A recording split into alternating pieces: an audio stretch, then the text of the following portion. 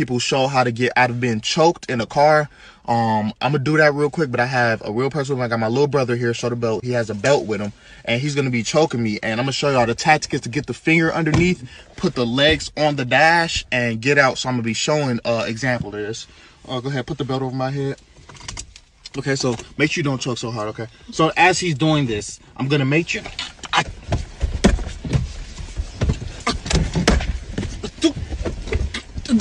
Okay. Okay. Okay.